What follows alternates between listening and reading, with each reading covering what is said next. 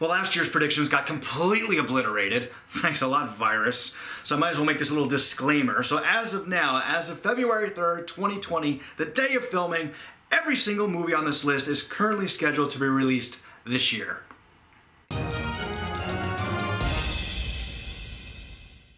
How you doing everybody? I am Jay Enterprise and this video is my predictions for the top 10 highest grossing films of 2021. Now when I say top grossing, I'm talking about the overall worldwide box office. now, this list was very interesting to make. Um, as a matter of fact, I, I originally intended to release this video in the beginning of January and then a bunch of movies started getting delayed and the you know once again the movie schedule started shuffling around uh, so i was like okay let me hold off for a couple weeks let me monitor this for a little bit longer and just see exactly where these movies are going to land so here we are now in february um, also to be honest when i originally started coming up with this list i told myself don't overthink this, okay? Let's not overthink this list. Let's let's pretend this is a normal year and these movies are being released under normal circumstances. So, you know, let's do that. Guess what the movies are gonna gross at the box office and, you know, keep it simple. But I, I couldn't. There's, I mean, to be to be quite honest, there's just too many factors with the crazy times that, that we're in. Too many factors to ignore. Um, I mean, you have this the whole streaming factor. I mean, you have movies now that are being released exclusively on streaming services. Then you have movies being released on streaming services only in certain countries, then being released in theaters in other countries. Then you have the whole, you know, the whole Warner Brothers 2021 slate, which is doing the simultaneous release, being released on streaming uh, on HBO Max and being released in theaters on the same day. So there's just, again, like, I, I didn't want to overthink it, but there were just too many factors I had to consider.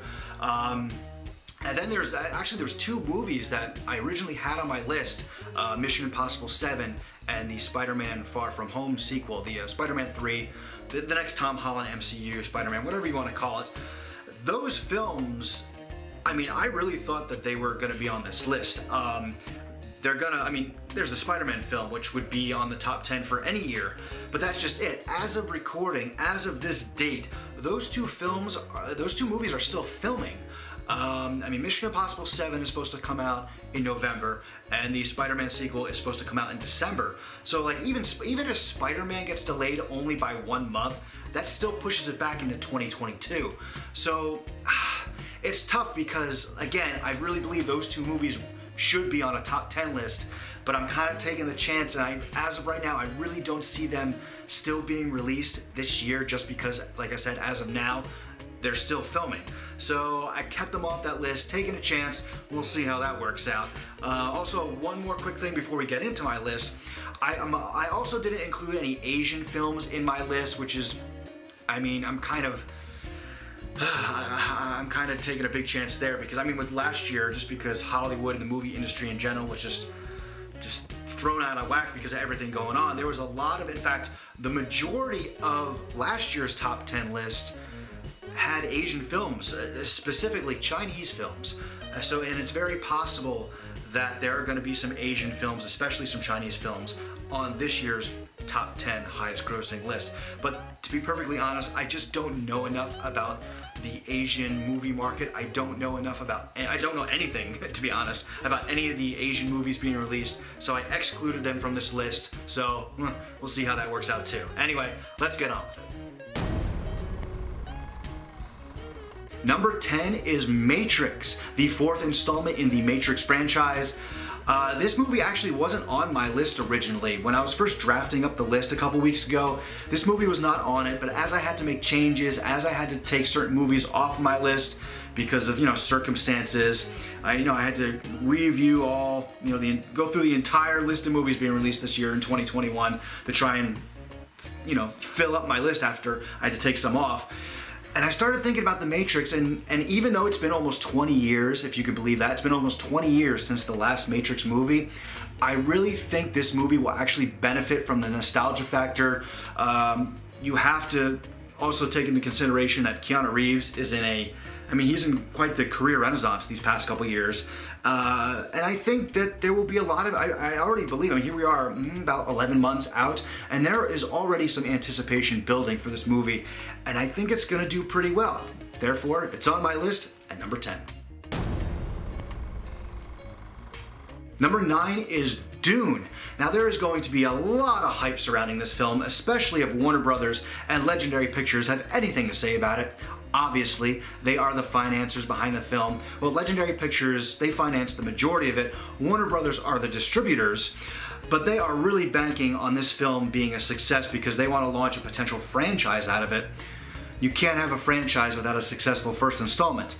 Now, I do believe this film has a lot going for it. I mean, the director has really pushed for this film to be released in as many theaters as possible. Um, that's just he just believes that's the only way you can see it. I agree with that.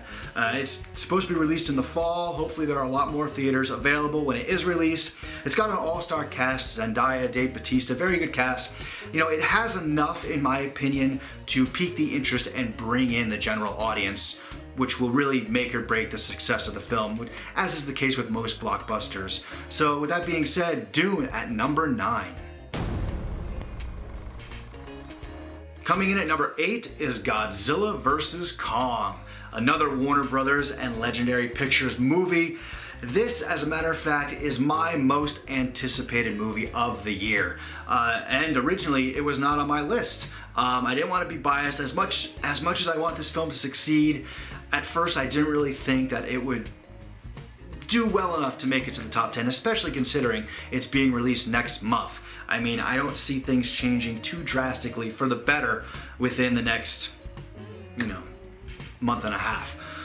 However, then the trailer came out and broke all sorts of records everybody's talking about Godzilla vs. Kong. There is a lot of hype and a lot of interest surrounding this film. Um, there's a lot of anticipation. Many people are saying that they're going to go see it in theaters. Um, and considering this is really the first blockbuster film that we're getting of 2021, I believe that will work in its favor as people who are willing to go to the theaters are really chomping at the bit to experience a movie such as this in a big screen like IMAX Dolby or just a big screen in general. I mean, this is the quintessential theater experience type movie, and I do believe people are going to take advantage of that. Uh, and yeah, considering the hype that the trailer caused last month, I really believe that that was enough to uh, push this film into the realm of success. Personally, I'm hoping so. Uh, successful enough, as a matter of fact, to put it at my number eight.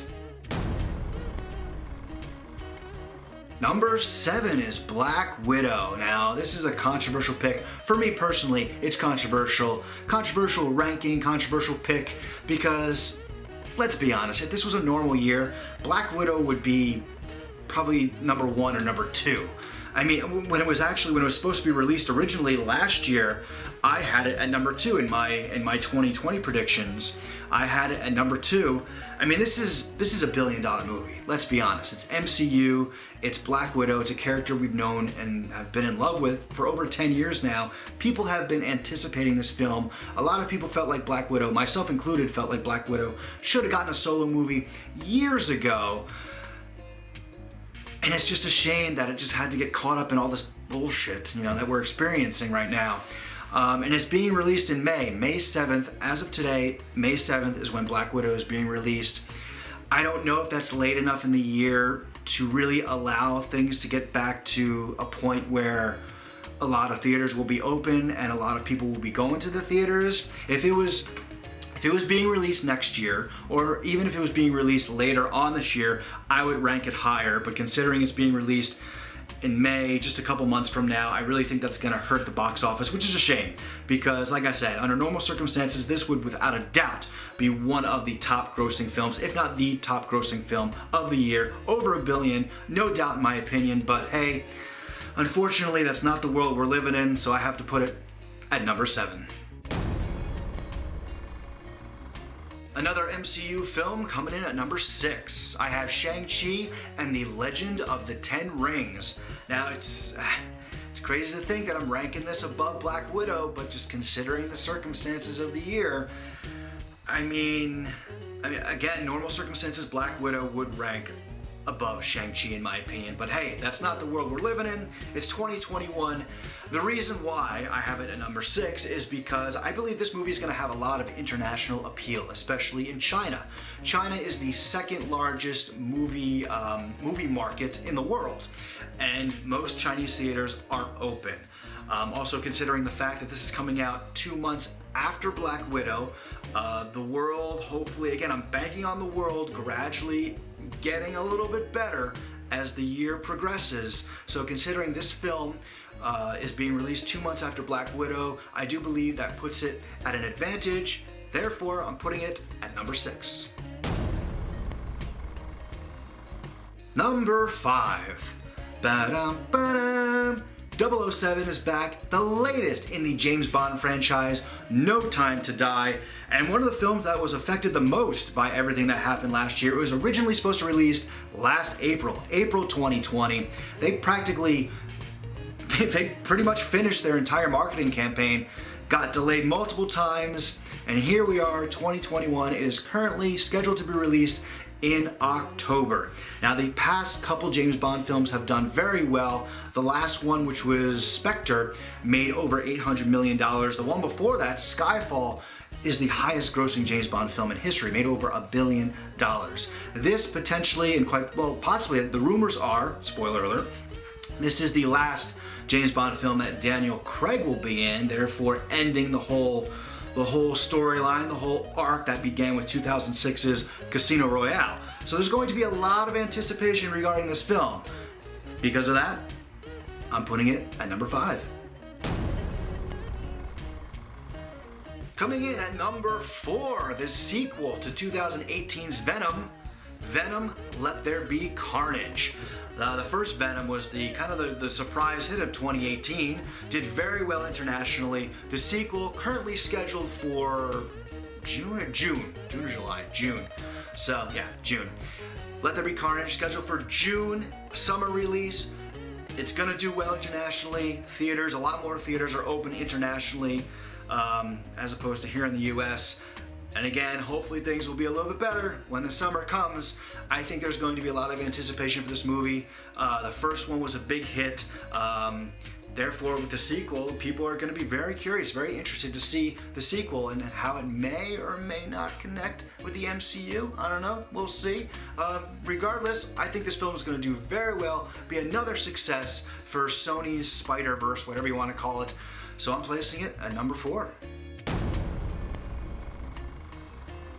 Minions, The Rise of Gru is my number three pick. Now, the Despicable Me franchise has been pretty divisive from a critical standpoint, but there is no denying the success of this franchise. This is a sequel to the 2015 Minions movie, which made over a billion dollars. This is also the fifth overall installment in the Despicable Me franchise. It was originally supposed to be released last July, now it's scheduled to be released this July, and it's my number three pick. Number two, another MCU film, Eternals, currently scheduled for November. Another film that was scheduled for last year, now coming out this year. A lot of films on this list were originally scheduled for last year. Anyway, this is another MCU film which I believe will benefit from an all-star cast and also benefit uh, with being released later on in the year. Once again, a recurring theme in this, this video, this list. I'm, I'm really counting on things getting better as the year progresses. The fact that this movie is an MCU film, it's being released in November. Hopefully more theaters will be open by that time. It's got an all-star cast. I'm gonna go see it just for Salma Hayek alone. Uh, childhood crush. Uh, anyway, getting off track here. Here we go. Yes, number two, Eternals. And coming in at my number one pick for the highest grossing film of 2021, as a matter of fact, it was also my number one pick in last year's prediction video because it was originally supposed to be released last year. But now, currently scheduled for May, my number one, F9. Fast 9, Fast and Furious 9, whatever the hell you want to call it. These movies have a huge international appeal. The last couple films have made bank at the box office. Even a, a Hobbs and Shaw spin-off movie which came out a couple years ago made over $700 million. Still a very, very bankable franchise. Um, makes a lot of money internationally. And as we've discussed, as I've mentioned, the international box office, the international movie scene is doing a lot better than it is here in North America. So I do believe that is really going to play a big part in the overall success of this film. Therefore, just like last year, I'm putting it at my number one pick this year. Number one, And that's my predictions for the top 10 highest grossing films of the year of 2021. Number 10, Matrix. Number 9, Dune. 8, Godzilla vs. Kong. 7, Black Widow. 6, Shang-Chi and the Legend of the Ten Rings. Number 5, 007, No Time to Die. Number 4, Venom, Let There Be Carnage. Number 3, Minions, The Rise of Gru. Number 2, Eternals. And my number 1 pick, Fast 9. Thanks a lot for watching. Now we're going to revisit this list next year, just see how well it holds up, you know, because last year's predictions got completely invalidated two months into the year, so we'll definitely revisit this video, see how well my list has aged, but uh, let me know, I'm very curious, let's get the conversation going. Let me know down below in the comments just what exactly, in your opinion, do you think will be the highest grossing films of the year, the most successful movies of 2021. Also, I'm very curious to know, let me know down below as well what your most anticipated films are. I'm very curious to know which movies you're looking forward to the most this year. And if you were entertained by this video, I would really appreciate it if you showed your support by liking, sharing, and subscribing.